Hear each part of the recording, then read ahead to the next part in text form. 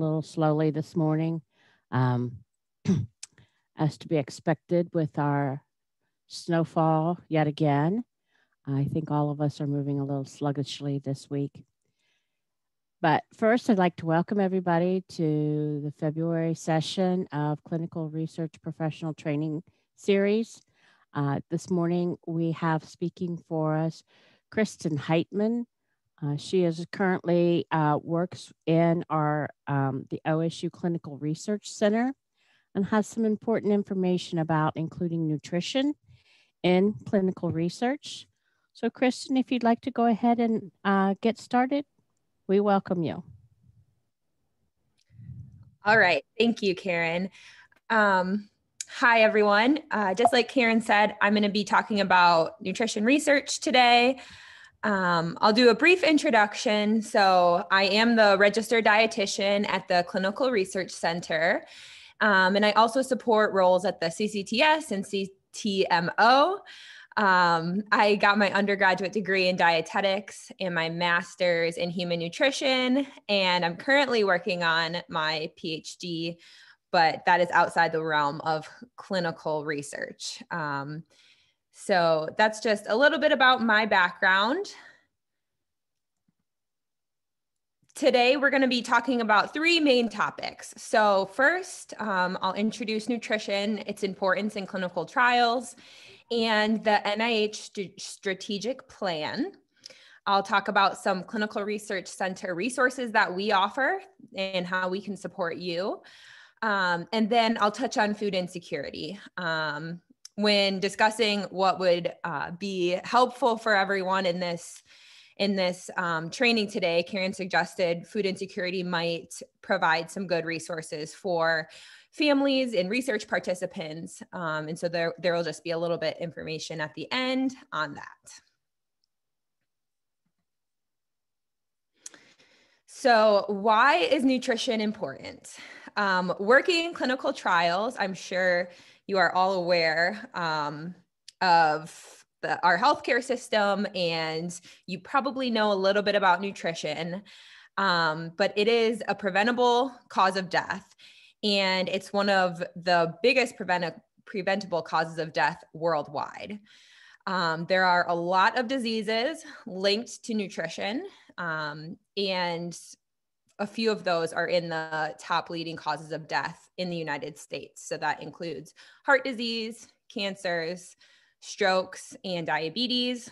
Alcohol um, is nutrition related. So that could be argued for accidents as well.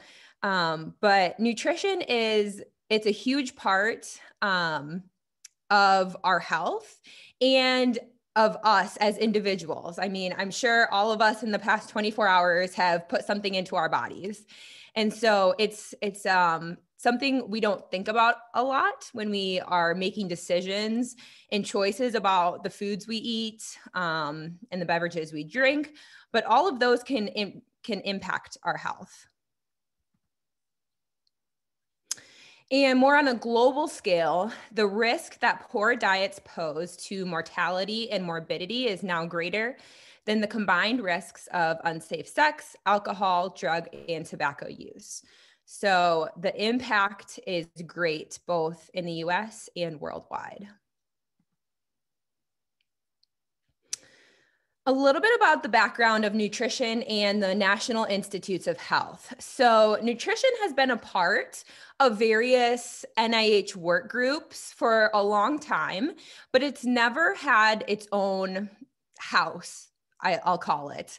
Um, it's never had a designated area within the NIH, and it's it's partially because it innervates so many different areas. It it wouldn't make sense to have an isolated nutrition institute when it's part of every other institute at the NIH. Um, so it's not an isolated area of research at all. It's very interdisciplinary. So, nutrition can include data scientists, bioinformatics experts, geneticists, nutrition researchers, um, both bench science all the way through clinical um, trials and clinical care, behavioral scientists, uh, medical doctors, biomedical experts, and that's just to name a few. So there is a great need for training the nutrition scientific workforce um, and really just educating people on this need as well. So in fiscal year 2019, these are some of the biggest spenders of um, research dollars that were related to nutrition. Um, so ones that are more familiar with me would be the National Cancer Institute, um, National Institute for Diabetes and Digestive and Kidney Diseases. Um, and I would say those are the two biggest ones that I hear about as a research dietitian. Um, but there are a few other really great spenders. Um, when nutrition, when the Office of Nutrition Research first established um, itself within the NIDDK, and you can see that that was the um, the biggest spender here in green. So the nutrition at the NIH was originally housed um, within NIDDK, and that's kind of where it had its origins, where they pushed a lot for um, nutrition to be more at the forefront of science and clinical trials. Um, but since then, it has moved to the Office of the Director over here. And the Office of the Director um, somewhat oversees all the rest of the 27 institutes of the NIH. So from a um, organizational perspective, they it's it's at a higher level now, um, which allows for it to be innervated to all of these other areas. So in May of 2020, the first strategic plan for nutrition research was released by the NIH. So again, this uh, this is the first time they've had a strategic plan for nutrition. It is um, new to me. It's new to uh, a lot of both bench scientists and clinical clinicians, clinical researchers as well. Um, and so what we're trying to do here at OSU is really just educate people on this plan, tell them it's there, and um, start the conversation about how we can get it integrated into our trials. So the the goal of this whole plan um, and initiative is to save lives, reduce disease burden, and reduce spending for healthcare because our healthcare costs in the United States are very high. Um, and this strategic plan ideally will really guide science over the next 10 years. So it gives it gives somewhat of a snapshot of where we think we're going. And in 2030, we can look back and say, did we get did we reach those goals? Did we get there? Where um, you know, where did the science take us? What did we learn? Um, so this is really where we think we're going, where we want to go over the next 10 years. And again, the Office of Nutrition Research was established within NIDDK in 2015. So about five years ago, it was established. Their first strategic plan came out this year. So this is all a very new area for um, NIH research. As a dietitian, I get asked a lot, what should I eat? Or what's the best diet? Or sometimes I don't even tell people I'm a dietitian because I'm sick of hearing that question. Um, and no perfect diet exists. So people are different, and so are their nutrient needs. And that is the overarching theme of this strategic plan. It's really to find individualized, actionable dietary recommendations for people. Um, and we call that precision nutrition. So, precision nutrition is similar to precision medicine, it's using a lot of information such as demographics, dietary habits, the microbiome, genetics, other omics, physical activity, health status, metabolism, the food environment, socioeconomics, psychosocial factors, environmental exposures, the life cycle, food environment. I think socioeconomics is on there twice. Um, but it's using all of those things to inform what a person should eat. Um, so, our current dietary recommendations are created with the idea in mind that they are recommendations for the healthy population. And we know that most of the population isn't healthy. Most of the population has a chronic disease of some sort um, or other acute diseases. And so, having one blanketed recommendation for all healthy people or all people um, hasn't been the best approach for us nutrition wise. So, the the answer to what should I eat is is much more complex than we give it credit for.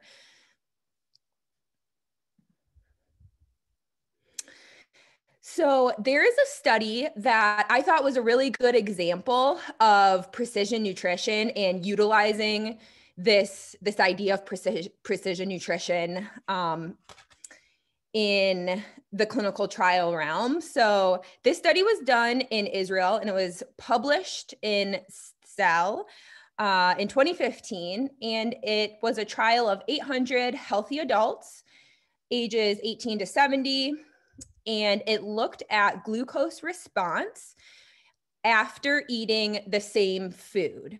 So participants were given uh, standardized meals and then their glucose response was tested afterwards. And what was found is that that their glucose response was highly variable.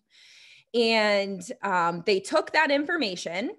Um, so these are all the different types of information that was collected at the beginning of the study. So, food diaries, anthropometrics, questionnaires, blood tests, and microbiome.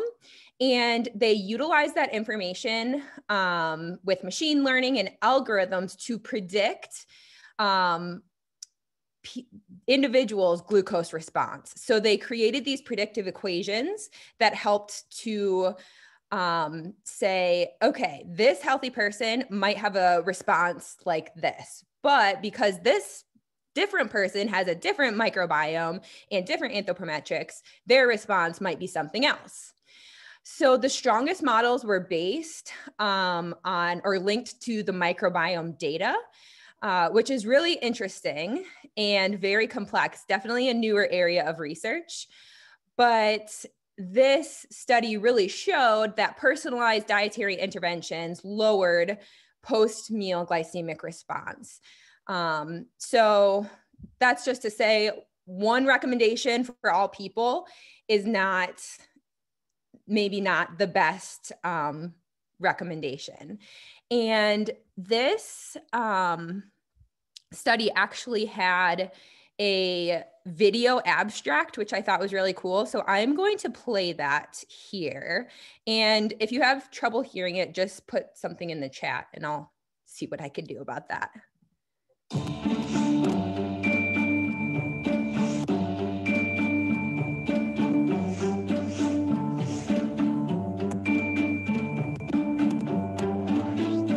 When we eat, the carbohydrates from the food are broken down to simple sugars, which are then absorbed from our intestine into the bloodstream. Blood sugar levels are a key factor that affects the pathogenesis of diseases such as diabetes and obesity. Diets aimed at controlling blood glucose levels are often similar, even for different people. What if we told you that these very common diets aimed at maintaining stable blood sugar levels may in some people achieve the exact opposite? How is this possible? People are different in many ways. For example, in their genetic makeup, in their lifestyle, and also in their microbiomes. The microbiome is a huge ecosystem of trillions of bacteria living inside our body, with more than 100 times the number of genes contained in the human genome.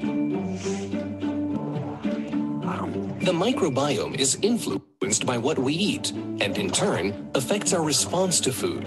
And as the microbiome differs greatly from one person to another, it can also affect the blood sugar response to food. For the past few years, scientists at the Weizmann Institute have studied the factors underlying variations in post-meal blood sugar responses. They collected health and lifestyle data from 800 volunteers who were connected to a device that monitored their blood sugar level every five minutes for an entire week. The participants also used a mobile document what and when they ate, exercised, slept, and so on. Stool samples were collected in order to analyze the composition and activity of their microbiomes. The scientists discovered that when different people ate identical foods, they often reacted in a very different way. For example, the blood sugar level of some people rose more significantly after eating sushi than after eating ice cream. Hmm. Scientists were able to integrate all of the data they collected into an algorithm that successfully predicted the blood sugar response to the meals of the 800 participants. The same algorithm achieved similar accuracy when predicting the sugar responses of 100 new participants. The scientists also showed how the algorithm could be used to prescribe personalized diets. A good diet that lowers post-meal sugars and a bad diet that raises sugar responses. Interestingly, some foods that appeared on the good diet of one person appeared on the bad diet of another. Let's hear what the researchers themselves have to say. If I highlight the key contributions of Okay, so it looks like the audio was a little bit behind the video. We'll see. I'll, I'll, try to restart it one more time to see if it goes. But if it gets off again, um, I'll just continue.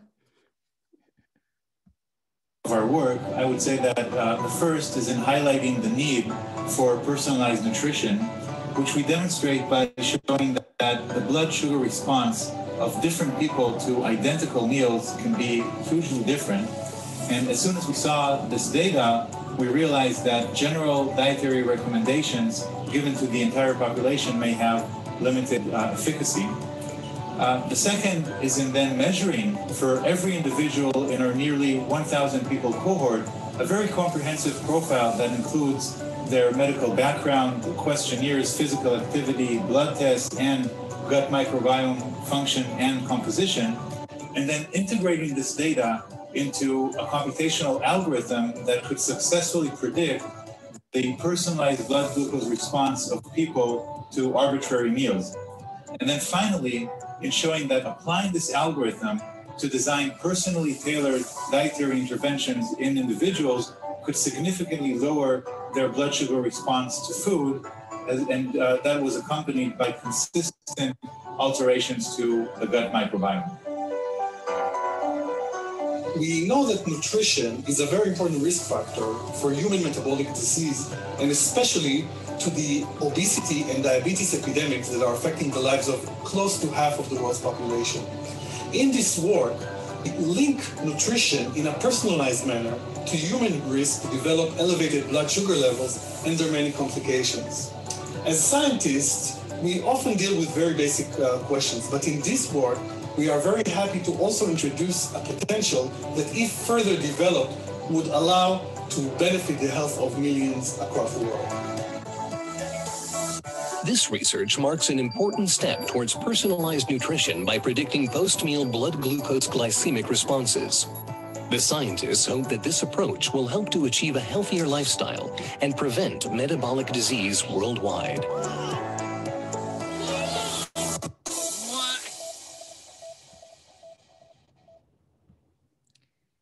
Okay, so that um, that whole study is one example of precision nutrition at work, and um, that is the type of study that the NIH is really getting at and wanting to dig into with this new strategic plan.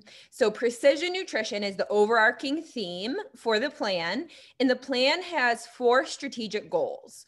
The first one is to spur discovery innovation through foundational research. The second is investigate the role of dietary patterns and behaviors for optimal health.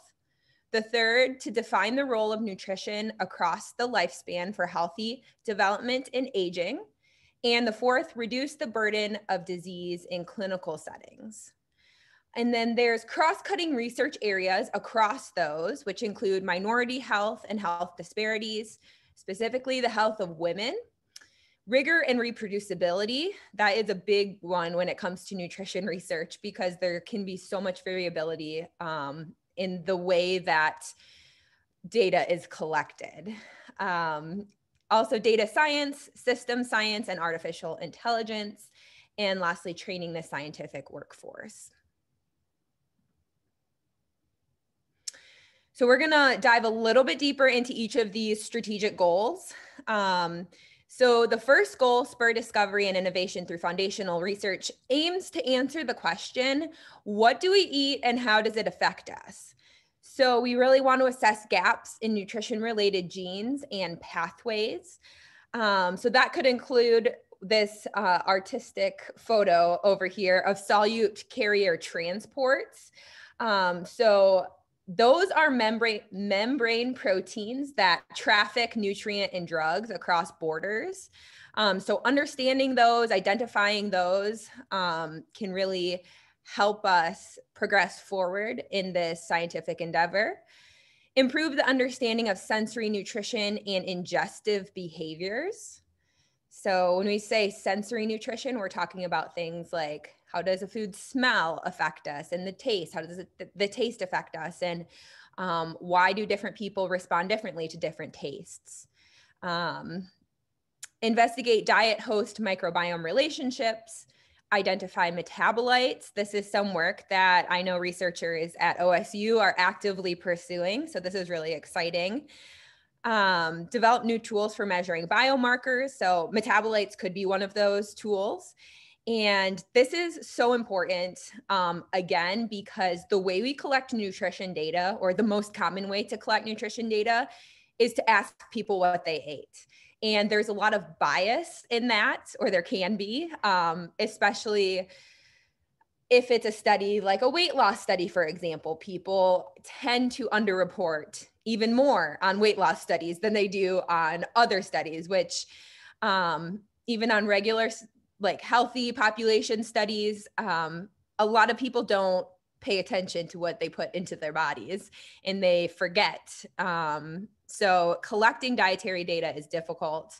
But if we were able to have a biomarker to measure that, or even a biomarker to calibrate uh, our diet records, um, that would be a way for us to get even closer to understanding what people are actually eating and develop user friendly tools for collecting dietary data.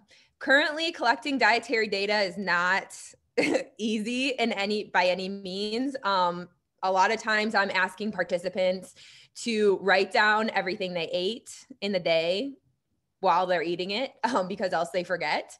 And so it can be it can be tedious and it can be cumbersome to participants, especially if we're asking them to do it for seven days um, with a lot of detail. I always explain I need I need to know the type of butter, I need to know if the butter was salted, I need to know what the butter was on, how much the foods um, how much butter the foods were cooked in, all of those tiny tiny details. And a few other things in strategic goal. One develop new new tools for measuring biomarkers. Okay i think i already went through this. Um, but so for example um, using artificial intelligence this would be one example to be able to analyze what's in our food. Um, there so this is uh, using a smartphone for example but they're they're also testing things like wearable devices. So like a device that would go in on your tooth attached to your tooth kind of like a retainer um, that could identify what you're eating and how much you're eating. So using new technologies to better understand what we're putting in our bodies Strategic goal two aims to answer the question what and when should we eat?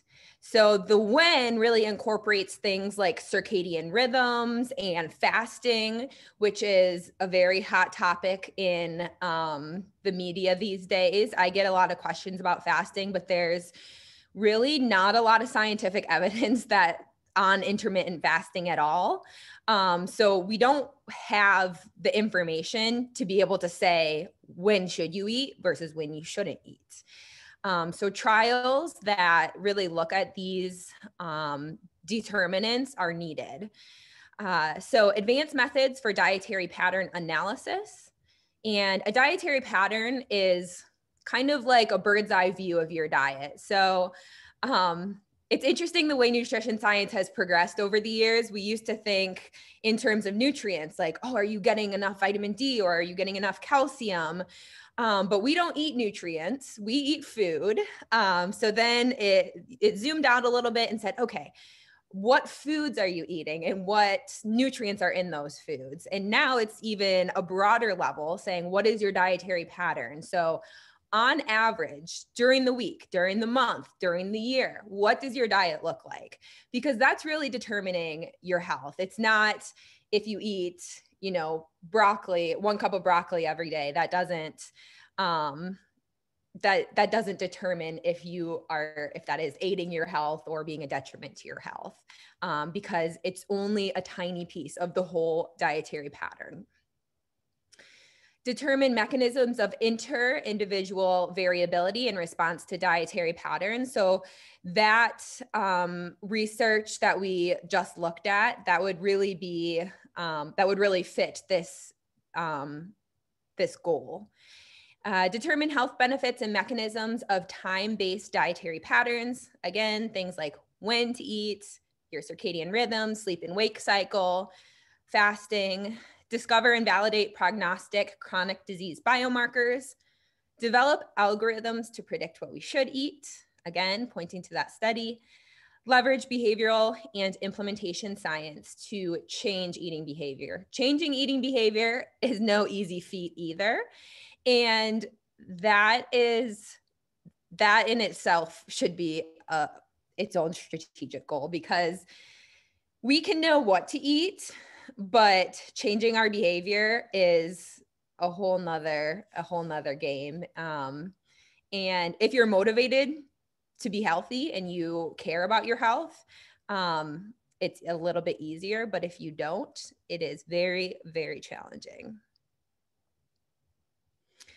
Strategic goal three, define the role of nutrition across the lifespan, really looks at the developmental origins of health and disease. So, um, we are learning that later in life, health outcomes can be linked to what your mom was eating when she was pregnant with you. Um, so, really looking at the very, very beginnings of the life cycle and nutrition for mom and baby and how that determines health later in life is really what this goal is getting at.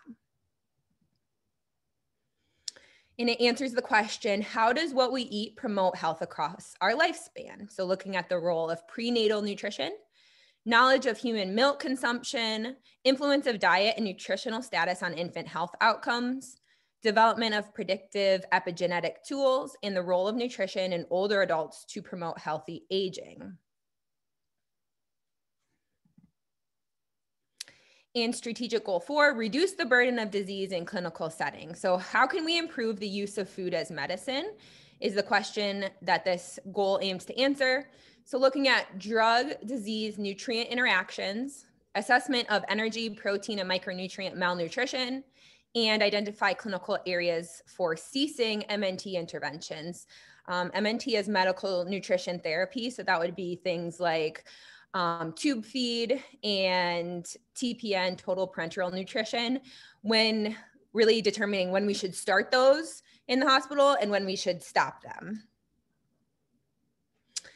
And so, from this NIH strategic, strategic plan, there um, are a couple RFAs available. These were recently released, so I haven't gotten a chance to look deep into them yet. Um, but part of this initiative with the strategic plan is they are running a study called All of Us Research Program or the All of Us study based on these four goals so it's going to be a multi-site trial um, and applications are open to be a part of different different parts of that trial.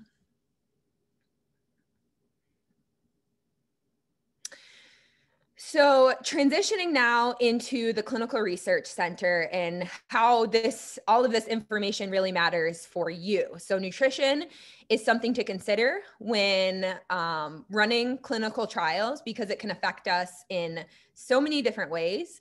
And so, at the Clinical Research Center, we offer resources for you to help you with that. Um, so our services include nursing. We have a nursing staff, a lab, both a processing lab and an analytical and development lab.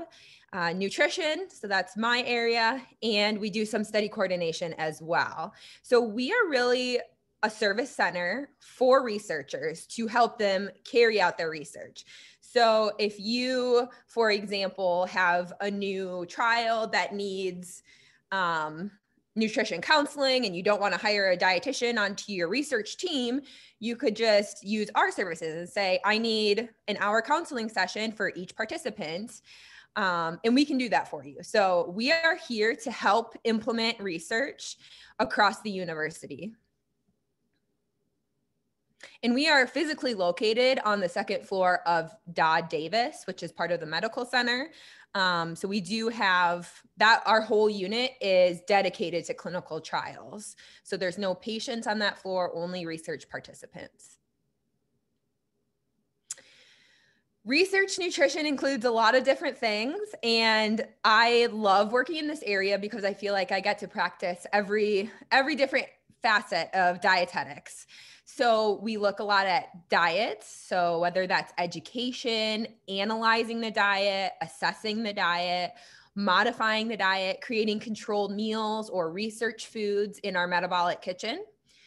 Uh, body composition assessment. So it can be easy, like height and weight, all the way to determining bone mineral density with our DEXA machine or lean body mass, fat mass, different um, anthropometrics like waist and hip measures. You wouldn't believe how many different kinds of waist measures there are. um, but again, that gets at, you know, the need for rigor and reproducibility in our methods. Um, and so I actually help I can help also in the planning of studies by recommending, you know, one method over the other based on based on the evidence and based on what um, is being done at the national level. So I also help investigators with methods development and scientific writing. Um, so those are two different ends of the spectrum. Uh, but also data collection. Um, energy expenditure is another thing we do.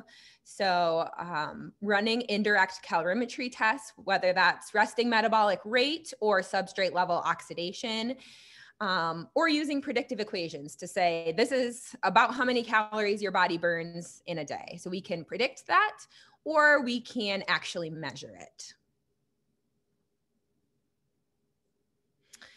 In terms of dietary assessment, there are three tools that these are the three main tools that people use currently. So, a 24 hour recall, that would be um, where I would call a participant or meet with them and talk to them um, and say, think back to the last 24 hours. So, think back to when you woke up yesterday. What was the first thing you ate after you woke up? Um, and there's there's different ways to do this. You can do an unannounced recall, um, which reduces the chance that people will change their diets for that because they don't know when the recall is going to be.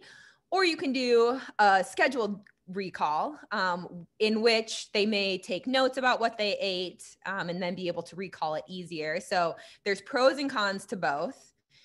Diet records, um, it's just writing down what you eat every day. And then FFQ is a food frequency questionnaire, which is um, a questionnaire that gets an overall picture of what you eat. It's not, um, it has different uses than the diet record and 24 hour recall because it's it's something that you would use more on a population level than on an individual level. And so, when you're picking a type of dietary assessment, some things to consider are the population and their literacy, um, also their cultural background, because something like an FFQ might not be appropriate for them. uh, typical foods, validity, validity of the tool, reproducibility of the data, dietary restrictions that people might have. Um, it wouldn't make sense to give someone an FFQ if they're fed on tube feed. Measurement error, recall bias, reactivity bias, study design, primary outcomes of the research, um, people's attention span. we have a, we have a study on our unit right now that we administer an FFQ, and the longest recorded time it has taken us to administer this FFQ should take 20 to 30 minutes. But it never does with this specific study because of the population. The longest it has taken is three hours. So that's the record. Um, people's attention span is important to consider. And availability of the tool you're using. So when when investigators come to me and give me a protocol and they've picked one of these three assessment methods at random and ask me to implement them sometimes i think how did you pick this um, because there's so many things that you should consider in the study design before you pick an assessment method so if anyone is planning research, it's best to come to us beforehand um, rather than amidst the data collection. Uh, food and nutrient analysis. So at the CRC, we host different programs that help us to analyze at um, oh, the research level different foods. Um, so NDSR nutrition system data nutrition data system for research is um, a tool that I use almost every day. Um, it is the highest caliber nutrient analysis software. It's run by the University of Minnesota, and um, it is everything in it is evidence based. It's not like MyFitnessPal where you say, "Oh, this food isn't in it. I can add it myself." In NDSR, you cannot add anything yourself. Everything is based on uh, chemical analysis of the actual food. So you know that the data points are accurate. So when we're talking about reproducibility, using NDSR is reproducible at all different institutions. Um, so a lot of a lot of research uses NDSR for analysis. So that is one really good thing. Um, ProNutra is a similar program, though it's focused more so on the food service aspect. So we can, in that program, create a controlled meal. So we know every person on the study is getting the exact same food. And so every ingredient is weighed out to the 10th of the gram when we prepare it. We give it to the participant. And if they don't eat it all, we take it back, weigh every part of the food that they didn't eat, put that information back in ProNutra, and ProNutra can calculate it, the exact amount of each nutrient, each food that the participant ate. So it's a very useful system for feeding trials. Um, and then dietary indices. So there are um, different types of index calculations that we use to give to really take the data that our program spit out and make it meaningful for a research study. So we can use the NDSR data to calculate what's called the healthy eating index. Um, and that can tell us how closely each person is to dietary recommendations. So it's a scale from zero to 100, and it can say, yep, you are 100%, you're meeting all the dietary recommendations. Um, I will tell you the average of people in the United States is around 50. Mine, it was in the 80s. So I've never met anyone who's gotten 100. um, and I've mentioned our metabolic kitchen. So we have a kitchen on our unit where we create research foods, we create controlled meals, and we run feeding trials. So, bringing it back to that study at the beginning, we talked about personalized nutrition by prediction of glycemic response. Um, if, for example, you were tasked with running this study, most of it could be done on our unit, with the exception of the microbiome. So, we don't do stool samples. Um, as of yet. That could be changing. Um, but our unit, we run blood tests, we give out questionnaires, we measure anthropometrics, we create um, the standardized meals that we give to participants. Um, so all all of this we do, and um, really helping to manage the study and whether that's the data, the participants. Um, this would be a, an example of a study that we could definitely help you run if um, you were ever tasked with it. And lastly, touching on food insecurity. Um, so, food insecurity is influenced by a lot of different things, but mainly mental, physical illness, alcohol abuse, lack of awareness, and access to assistance programs.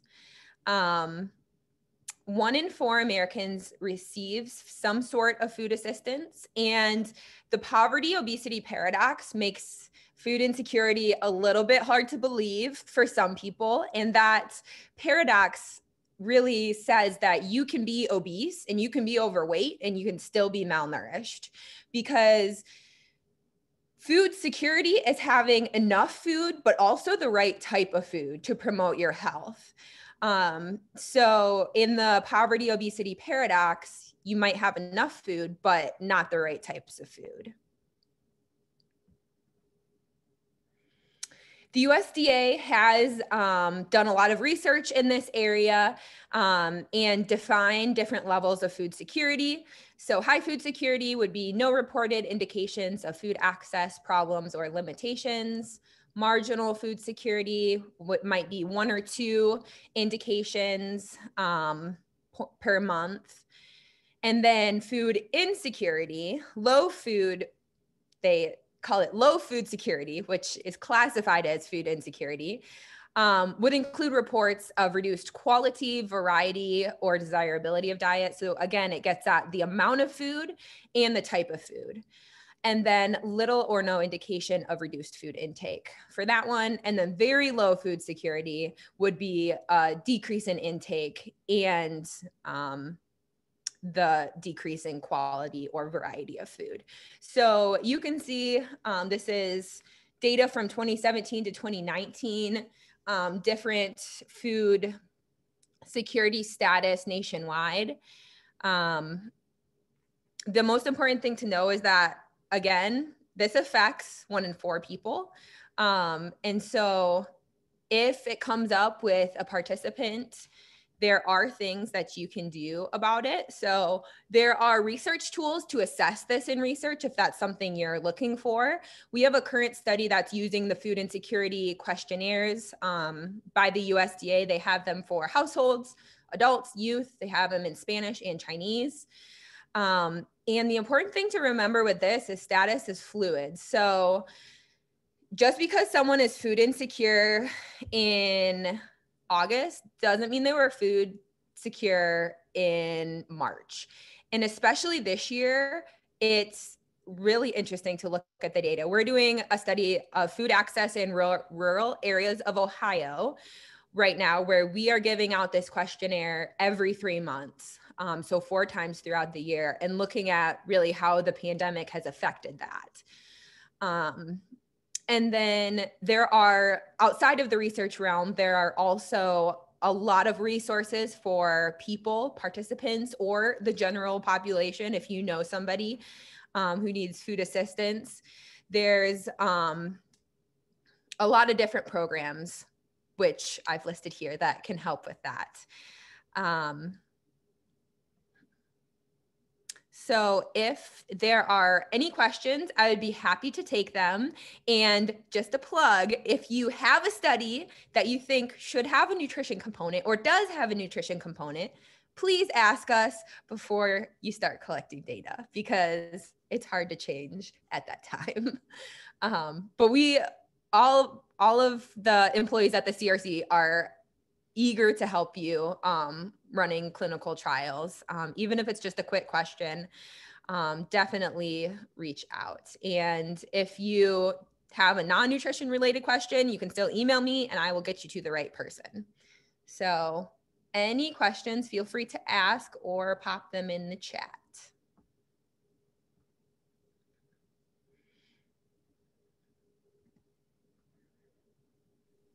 Thank you, Kristen. That was very interesting. Um, I'm looking forward to seeing some more of these studies. Um, having been one that was always vertically challenged, weight has always been a challenge for me. Um, and eating the diets that are recommended haven't always worked for me either. So um, I do think that in this age of research, we are finding that one size does not fit all in, in most cases. Um, so it, that was very interesting. Again, if you have specific questions, feel free to go ahead and put them in the chat. Um, and we do have one question. Um, is there anything you could say about food insecurity on campus for students? So I know there are resources. I am not as familiar with those resources because I did not go to Ohio State. Uh, well, I guess I do go there now, but um, in my undergrad, I was more aware of the resources. So, for example, at Michigan State, we had our own food bank where students could go and get food. Um, so, I know there are resources available. If you email me, I will get you in contact with those resources and people who know about them. So, do we have any other questions? Are you um, we will also um, also post that the slide that Kristen had of all of the RFAs that are um, currently out there um, so that we can make sure I'll, I'll, have it posted on the CCTS board as well um, so that we can get that information out if anyone is thinking about maybe uh, looking at one of those for studies, grants, etc. Um, as for that, again, um, feel free to reach out to Kristen with any questions. Um, you can also reach out to me. Uh, we are going to be starting into a series concerning diversity, equity, and um, inclusion. Inclusion um, for the next three months.